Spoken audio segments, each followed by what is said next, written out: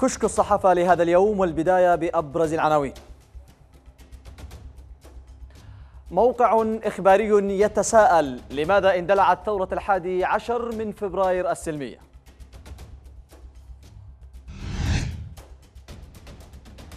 وصحيفة عربية تتحدث عن ثورة مضادة قتلت مهندسها. ومن صحيفة عدن الغد تاجر في عدن يستخدم مدرعة وينصب نقطة تفتيش لتحصيل ديونه.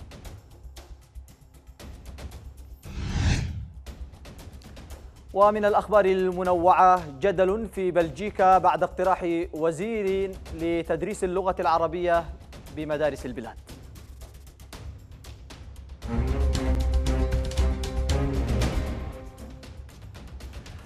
السلام عليكم والبداية من الخبر الأول حيث يتجدد الجدل عاما بعد عام حول ثورة الحادي عشر من فبراير الشعبية السلمية خاصة مع حلول ذكراها السنوية. ويتصدر هذا الجدل أعداء الثورة الذين يحملونها مسؤولية كل ما تشهده البلاد اليوم من حروب وخراب ودمار وتدخل أجنبي ويضع الموقع بوست تساؤلا في صفحته الرئيسية. لماذا اندلعت ثورة الحادي عشر من فبراير عام 2011 الجميع أنصار الثورة وأعداؤها لم يدركوا بعد حقائق التاريخ وثوابت علم الاجتماع التي سجلت الظاهرة الثورية في العالم أجمع وبينت أسباب الثورات ومراحلها وأسباب تعثرها وانبعاث الثورات المضادة. ويورد الموقع بوست الثورة الفرنسية كنموذج لحالة الكفاح الذي تبعها وقال إنها تعثرت وحصل الاقتتال بين الثوار وعاد النظام السابق للحكم ولم تنجح وتحقق أهدافها إلا بعد مرور عشر سنوات تقريبا على اندلاعها. لم يسبق أن اندلعت أي ثورة في العالم بدون أسباب ومطالب كبيرة لدى مختلف فئات الشعب وكذلك الأمر بالنسبة لثورة الحادي عشر من فبراير السلمية فقد اندلعت لأسباب منطقية بعد أن تهيأت الظروف المناسبة لاندلاعها. وعند التأمل في المطالب التي رفعتها فإنه ليس من المبالغة القول بأن أعظم ثورة في تاريخ اليمن فبالإضافة إلى أنها جاءت استكمالا لثورة السادس والعشرين من سبتمبر عام 2000 عام 1962 الناشطة في الثورة الشبابية السلمية والحائزة على جائزة نوبل للسلام توكل كرمان قالت إنما يجمع قوى الأنظمة المنهارة مع حلفائها الإقليميين على اختلاف محاورهم هو الخوف من التغيير الذي بشر به الربيع العربي. وأضافت في كلمة لها بمناسبة الذكرى السابعة لثورة فبراير تابعتها المواقع الإخبارية بينها موقع يمن مونيتور. إن البديل عن مسار الربيع العربي هو الميليشيات الطائفية والدينية والانفصالية وجماعات العنف والإرهاب. وإن الانقلاب الذي قاده صالح والحوثيون المدعوم من إيران أدخل البلاد في صراعات وحرب مدمرة وفتح الباب أمام التدخلات الأجنبية. ونوهت إلى أن التحالف العربي الذي تقوده السعودية في اليمن عمل على إضعاف السلطة الشرعية وابتزازها لافتة إلى أن التحالف انحرف عن أهدافه من مساندته للشرعية إلى مقوض لها ومنقلب عليها. وقالت كرمان إن الذهاب إلى الانتخابات المختلفة لإقامة اليمن الديمقراطية الاتحادي متعدد الأقاليم هو الطريق الوحيد لبناء السلام المستدام في اليمن. عن مشهد جليل لم يعرفه العرب طوال تاريخهم كتب الوزير الأسبق للثقافة خالد أرويشان مضيفا في أجزاء من مقال نشرته بلقيس. مرت اليمن بدورة سياسية استمرت ما يقارب عقدين من الزمن وتحديدا منذ قيام الوحدة عام 1990 حيث حاولت النخب السياسية القيام بعملية إصلاح سياسي وطني شامل. من خلال المشاركة السياسية تم المطالبة بالإصلاح السياسي ومحاولة إصلاح النظام الانتخابي الذي وصل حد الأزمة السياسية منذ ما بعد انتخابات 2006 حاول الحزب الحاكم المضي منفردا في قضية تسجيل الناخبين أواخر 2008 ليتم إجراء الانتخابات البرلمانية في موعدها المقرر آنذاك في إبريل 2009 وردت أحزاب المشترك على إجراءات المؤتمر بإخراج مسيرات ومظاهرات ضد عملية القيد والتسجيل ودعت إلى مؤتمر حوار وطني الأمر الذي أدى إلى تراجع المؤتمر والتوصل إلى اتفاق نوفمبر بين أحزاب المشترك والمؤتمر والذي قضى بتأجيل الانتخابات النيابية لمدة سنتين لإتاحة الفرصة للأحزاب والتنظيمات السياسية ومنظمات المجتمع المدني لإجراء حوار وطني لتطوير النظام السياسي وإصلاح النظام الانتخابي بما في ذلك الأخذ بالقائمة النسبية.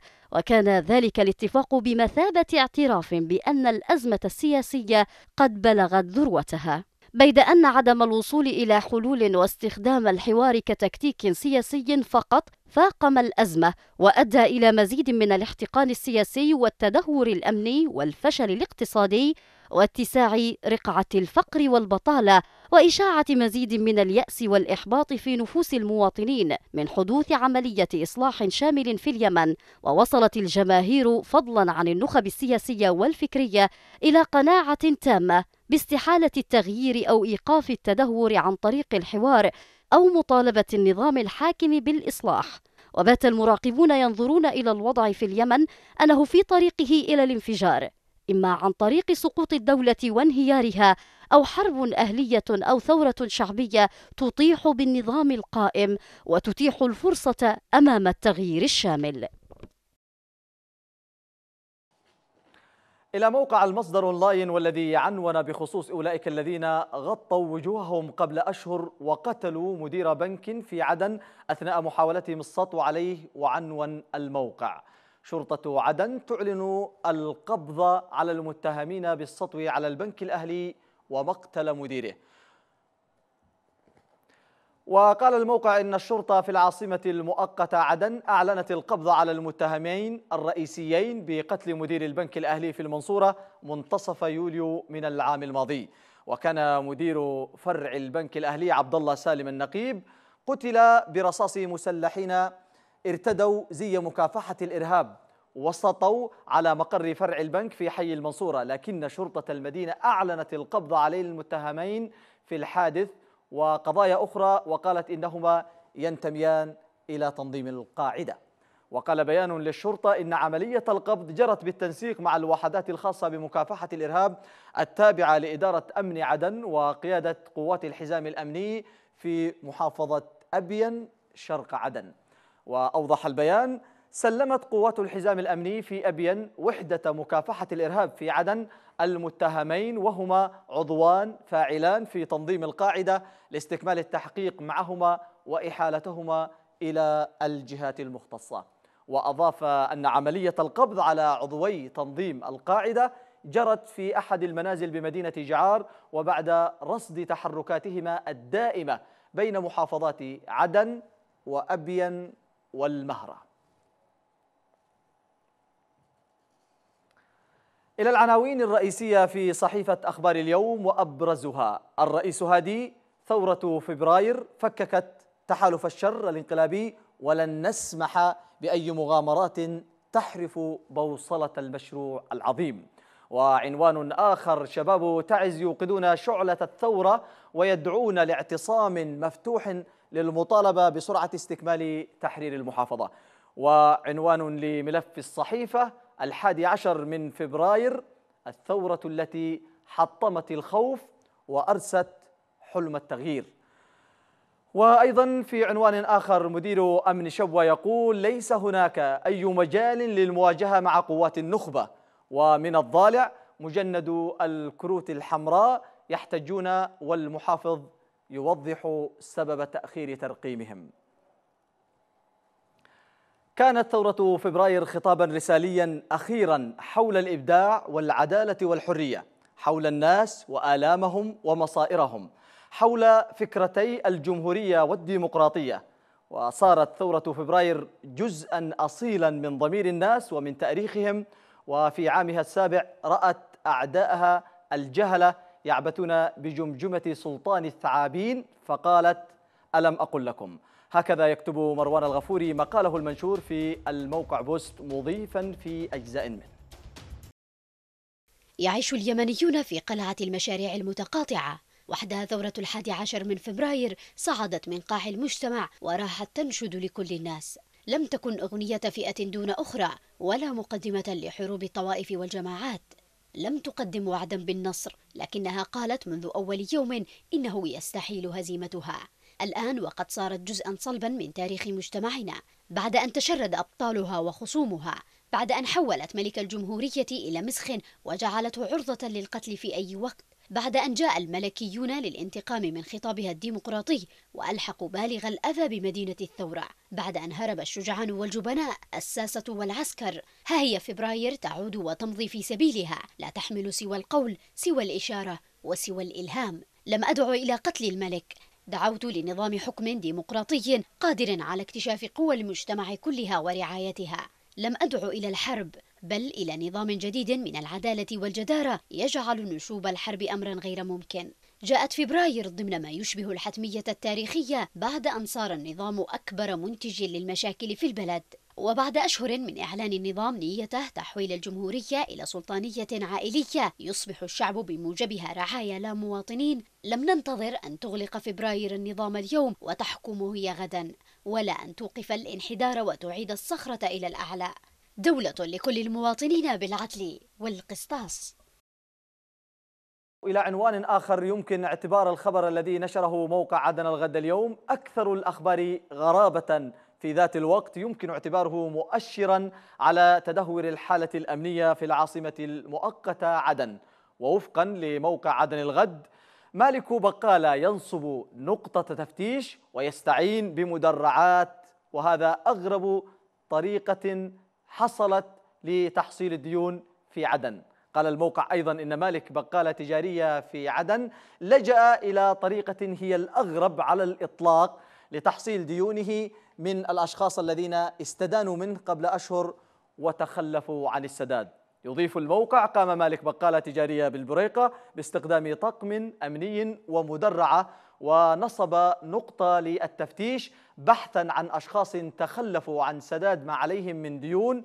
ويملك الرجل محلا تجاريا للمواد التموينية والغذائية وبات يعاني من مشاكل مالية بسبب عدم سداد الناس. لمستحقاته المالية.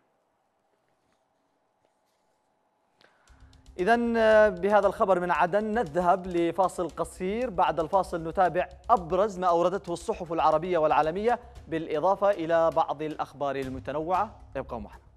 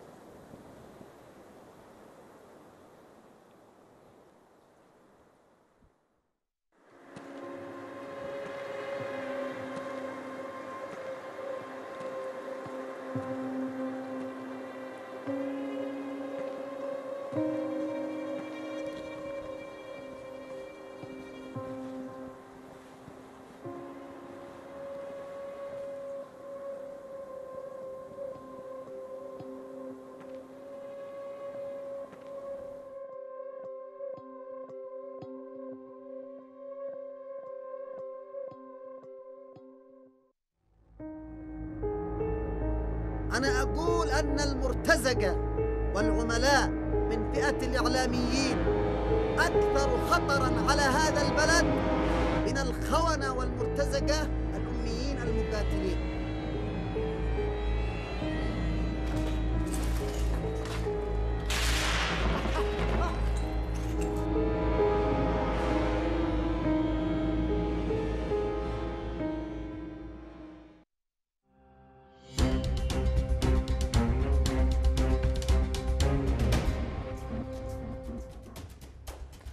حياكم الله من جديد. خلافا للأعوام السابقة تأتي الذكرى السابعة للثورة اليمنية بعد تطورات كبرى شهدها اليمن في الشهور الأخيرة وتمثلت بوصول الثورة المضادة إلى مرحلة قتل خلالها مهندسها علي عبد الله صالح على أيدي حلفائه الحوثيين بعد أن غامر بالتحالف معهم في طريق محاولات إجهاض ثورة فبراير والانتقام من رموزها ليقتل أخيرا وتبقى الثورة تواصل مسيرتها على أمل في التغلب على العراقيل والأزمات التي أدخلت البلاد وخلقتها محاولات وأد الثورة.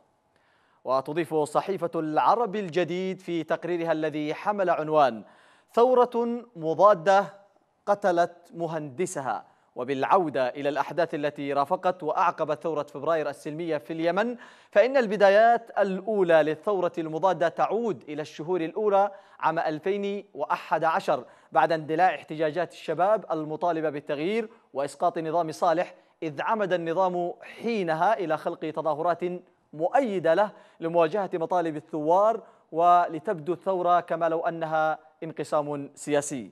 لم يقف الأمر عند التظاهرات بل انتقل إلى الاعتصامات في بعض الأحيان كما حصل في صنعاء حيث كان حزب المؤتمر المتابع لصالح يدعو لتظاهرات كل جمعة في ميدان السبعين أو في ميدان التحرير في في المقابل تظاهرة للثوار واعتصام في ساحتي الجامعة والستين.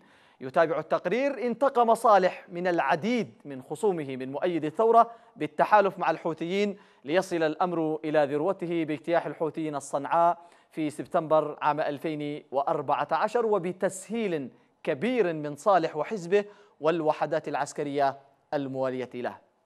ومع سيطرة الحوثيين على صنعاء كانت الثورة المضادة قطعت شوطا كبيرا بإسقاط حكومة الوفاق التي تشكلت بناء على المبادرة الخليجية كما كان الأمر بمثابة كسر للشوكة العسكرية والقبلية التي وقفت إلى جانب الثورة. قالت صحيفة الشرق الأوسط في أحد تقاريرها إن اليمن أو عن اليمن إن ميليشيا الحوثي الانقلابية في اليومين الأخيرين دفعت بالمئات من مجنديها الجدد في صنعاء إلى محافظتي صعدة والحديدة غربا وللإسناد لصفوفها المتهاوية في هذه الجبهات أمام ضربات الجيش اليمني وتقدمه المتسارع مسنودا بقوات التحالف العربي المدعوم من الشرعية. وتفيد الصحيفة استنادا إلى مصادر رسمية قولها إن القوات الحكومية تقدمت في جبهة نهم شمال شرق صعدة شمال شرق صنعاء باتجاه منطقة مسورة في ظل معارك عنيفة مع الميليشيات الحوثية أسفرت عن استعادة عدد من التلال غرب قرية الحول. وفي جبهة تعز يقول تقرير الصحيفة تسبب القصف العشوائي للميليشيا الحوثية على حي الدمغة بمقتل شاب وطفلة وجرح سبعة آخرين.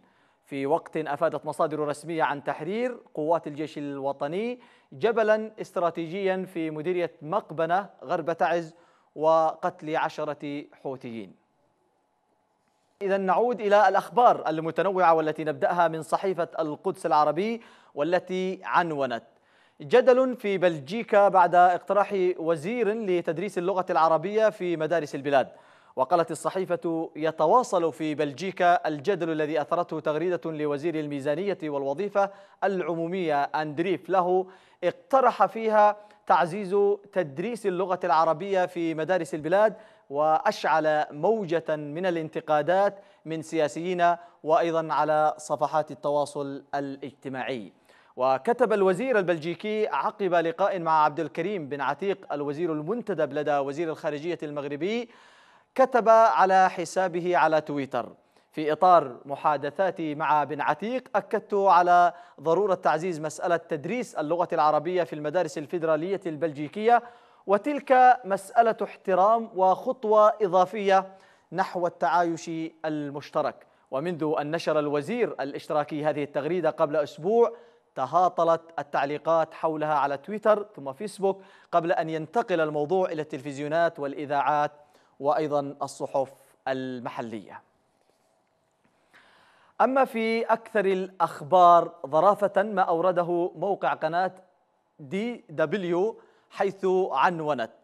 حملة عالمية وتبرعات للبحث عن عروس للضفدع روميو. تساءل الموقع هل يمكن لك أن تقترح عروسا مناسبة للضفدع روميو الضفدع البوليفي يبحث منذ عشر سنوات على عروس مناسبة لكن دون جدوى وقد انطلقت حملة آه، حملة عالمية لجمع تبرعات مالية لصالحه فما السبب وراء ذلك؟ يعقد الضفدع البوليفي روميو آمالا كبيرة على عيد الحب في الأسبوع المقبل بعد أن أمضى عشر سنوات بدون تزاوج ولا أولاد. وتم تسجيله في أحد المواقع المتخصصة في البحث عن شركاء. على أمل أن يجد زوجة من فصيلته النادرة التي توجد فقط في بوليفيا. وجاءت هذه الخطوة الطريفة في إطار حملة عالمية تهدف إلى جمع تبرعات مالية تقدر بخمسة عشر ألف دولار قبل الرابع عشر من فبراير الموافق لعيد الحب وذلك بغرض المساهمة في البحث عن ضفدعة من نفس فصيلة روميو. وقال أحد العلماء من المنظمة العالمية للبيئة والحفاظ على الحياة البرية نحن لا نريده أن يفقد الأمل ونحن أيضا. من يتأمل واقع اليمن في السنوات الأخيرة قبل 2011 سيجد أنها كانت تسير نحو الانفجار إما بالثورة أو الانهيار. يرصد الكاتب زايد جابر المحطات الهامة التي أدت إلى اندلاع الثورة الشبابية في مقال جاء فيه.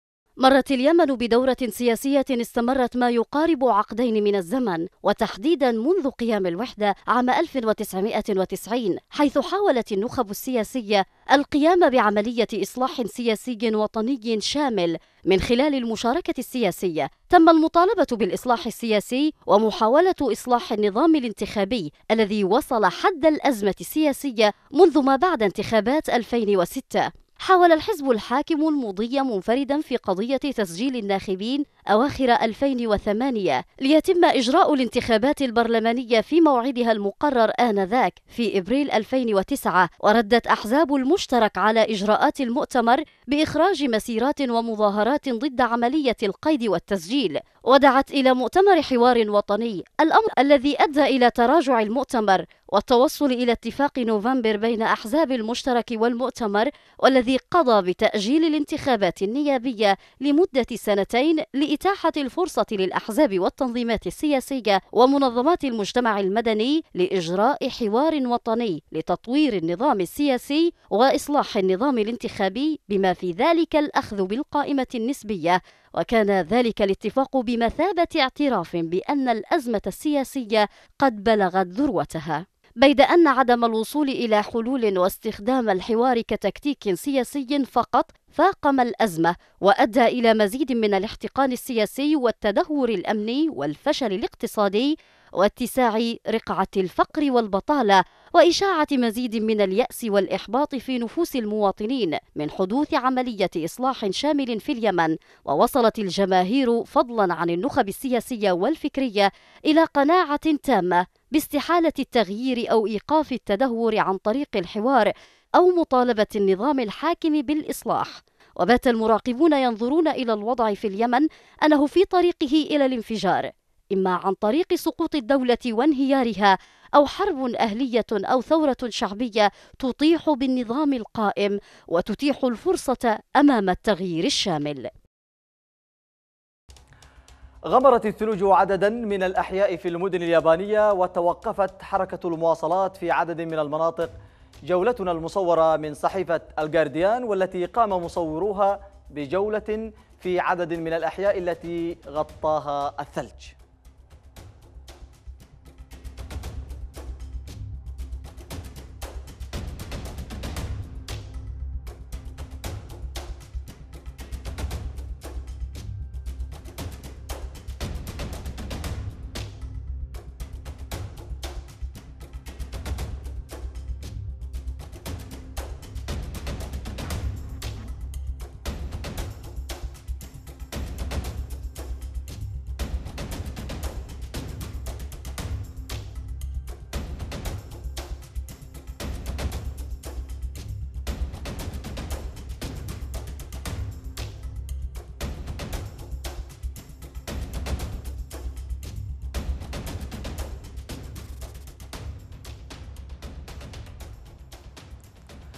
إذا بهذه المجموعة من الصور والصحف نكون قد وصلنا لختام حلقتنا لهذا اليوم من كشك الصحافة.